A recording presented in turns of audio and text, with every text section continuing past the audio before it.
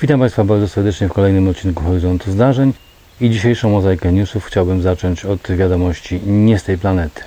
Jean-Claude Juncker, prezydent Komisji Europejskiej, wygłosił ostatnio publicznie na Zgromadzeniu Komisji Europejskiej następujące oświadczenie. Trzeba powiedzieć, że ci, którzy obserwują nas z daleka, są bardzo zaniepokojeni. Spotkałem się i rozmawiałem z kilkoma przywódcami innych planet. Oni są bardzo zaniepokojeni kierunkiem, w który angażuje się obecnie Unia Europejska. Tak więc jest konieczne uspokojenie relacji zarówno ze strony Europy, jak i ze strony tych, którzy nas obserwują z bardzo daleka. Il faut savoir que ceux qui nous de loin sont inquiets. J'ai vu euh, et entendu et écouté plusieurs des dirigeants euh, d'autres planètes. Ils sont très inquiets parce qu'ils s'interrogent sur la voie que l'Union européenne euh, va euh, euh, poursuivre. Et donc, il faut rassurer et les Européens et ceux qui nous observent de euh, plus euh, loin. No cóż, pan, można powiedzieć, że pan Jean-Claude Juncker mocno odleciał, można powiedzieć, że się przejęzyczył, e, można powiedzieć, że mm, niechcący opowiedział o fragmencie rzeczywistości, które nas poniekąd dotyczy. W zależności od tego, kto jak ma ochotę to widzieć, tak to widzi i tego typu też są komentarze w newsach na temat tej wypowiedzi pana mm, e, Jean-Claude'a. No, pan Jean-Claude jest znany z tego, że mm, e, skandalizuje. To znaczy, no, ma zasadniczy problem z alkoholem, o czym też wszyscy wiedzą.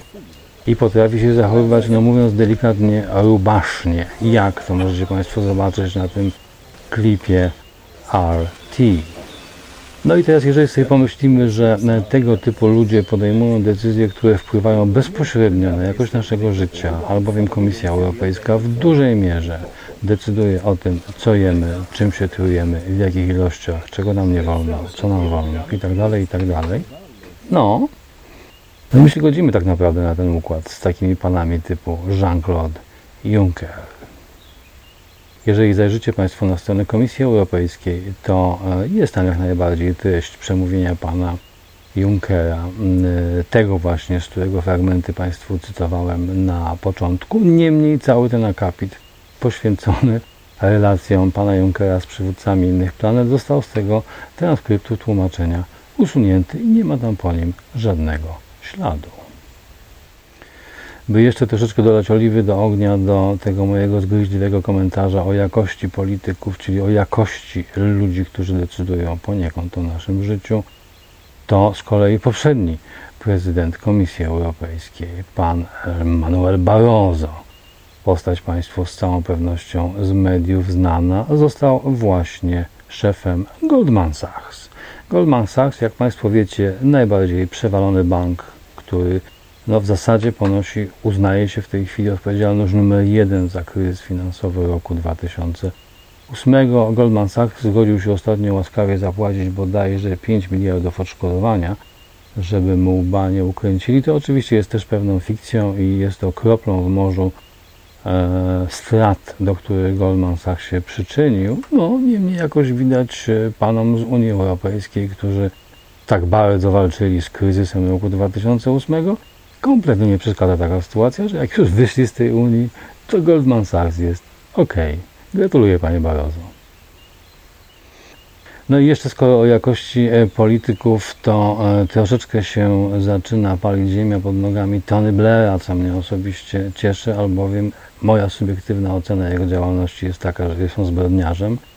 Otóż Tony Blair, były premier Wielkiej Brytanii, od dawna oskarżany, delikatnie mówiąc, o ludobójstwo i o zbrodnie przeciwko ludzkości, przede wszystkim za swoją rolę w początkach wojny z Irakiem, za kłamstwa, których się dopuścił wobec chociażby parlamentu brytyjskiego, a tak naprawdę wobec całego świata.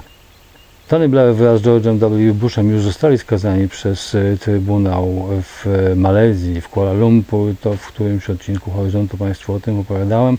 Jest taki fenomen jak Trybunał przeciwko, zbrodniom przeciwko ludzkości, który, no cóż, oskarżył już wielu polityków obecnie sprawujących władzę, bądź niedawno sprawujących władzę o zbrodnię. On nie ma żadnej sankcji prawnej, to jest ciało, można powiedzieć, swojego rodzaju symboliczne.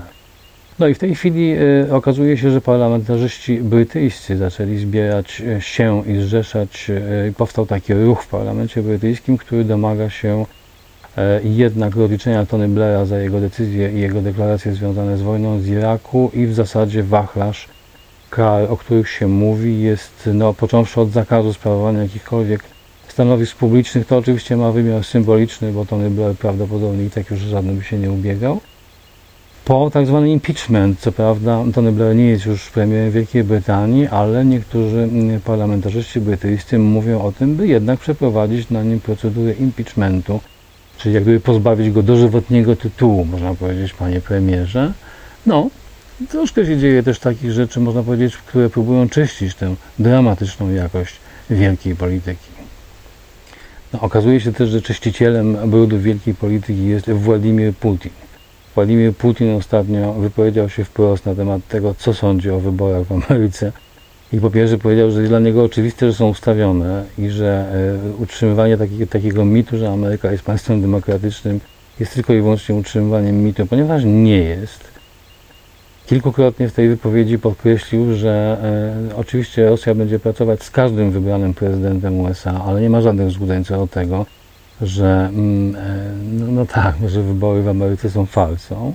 A na zakończenie swojej wypowiedzi powiedział e, coś takiego, że no oczywiście silne Stany Zjednoczone są e, bardzo potrzebne światu.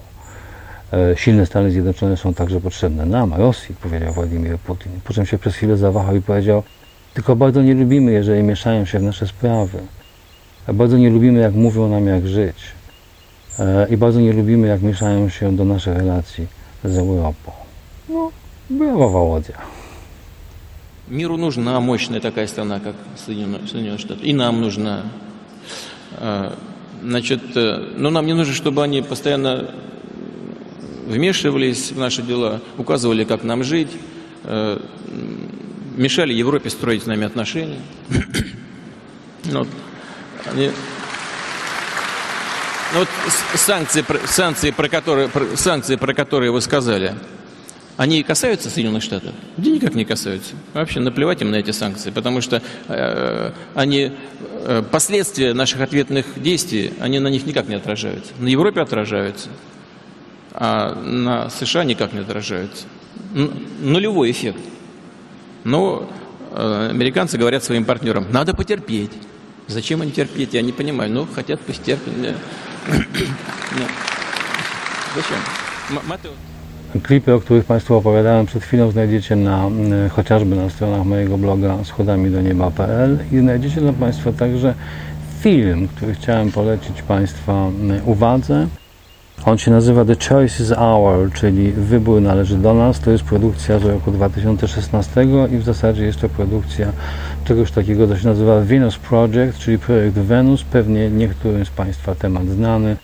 Jacques Fresco, swojego rodzaju wizjoner, filozof, myśliciel i aktywista, stoi za projektem Venus od wielu lat. To jest taka inicjatywa, no, można różnie pewnie o niej mówić, na pewno jest ciekawa, na pewno idzie w dobrą stronę jest y, mocno oparta na wierze w to, że technologia rozwiąże wiele naszych problemów i ma tę istotną świadomość, że technologia e, jest w porządku pod warunkiem, że jest w rękach ludzi, którzy są w porządku.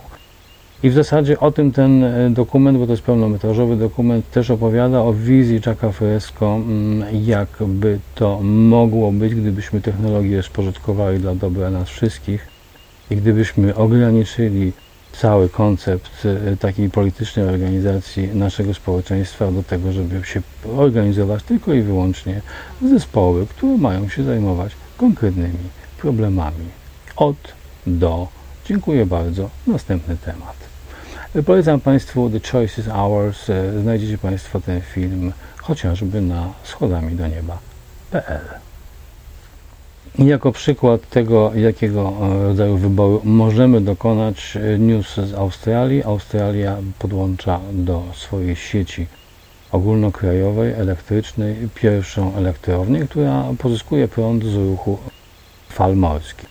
To temat też od dłuższego czasu e, no, badany głównie przez Australię i Nową Zelandię, ponieważ oni mają oczywiście tych fal, można powiedzieć, najbardziej pod dostatkiem swojej okolicy.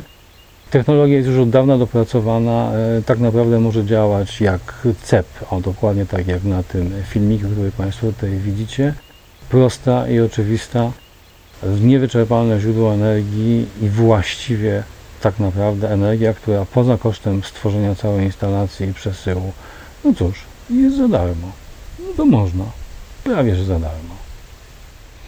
No i teraz news, który już nie jest wcale fajny i dotyczy w dodatku marihuany, a niestety dotyczy marihuany i Monsanto i obydwa te słowa muszę wymienić w jednym wierszu. No i cóż, y, obejrzałem taki program Jamesa Corbetta, o którym Państwu często opowiadam. E, James Corbett, świetna witryna dziennikarstwa obywatelskiego y, i jest tam wywiad Jamesa Corbetta z Ellen Brown, znaną aktywistką, prawniczką, taką kobietą zaangażowaną w różne fajne wolnościowe działania w Ameryce. Ellen Brown opowiada y, o kulisach tego wielkiego ruchu legalizacji marihuany w Ameryce, o którym ja Państwu też czasami ostatnio opowiadałem do celów leczniczych przede wszystkim, także do celów rekreacyjnych, no i w dalszej perspektywie do celów przemysłowych. No i to, co opowiada, jest troszkę zatrważające i tego typu informacje się już pojawiały wcześniej. No mianowicie mówi, że po pierwsze, tak naprawdę za tym wielkim legalizacyjnym ruchem marihuany w Ameryce stoją niestety wielkie korporacje i niestety pan George Soros. I teraz tak, idea jest podobno taka, tak to przedstawia pani, mm, e, pani Ellen Brown. No przede wszystkim wiadomo od dłuższego czasu, że, G, że Monsanto jest już bliskie temu, by opatentować formę GMO marihuany.